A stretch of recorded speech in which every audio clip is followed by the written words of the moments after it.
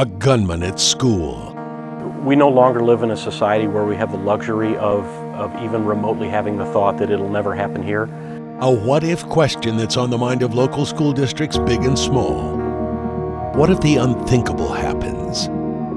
What are schools doing to keep your kids safe? Watch this Target 8 investigation Monday on KOMU 8 News at 10. Coverage you can count on.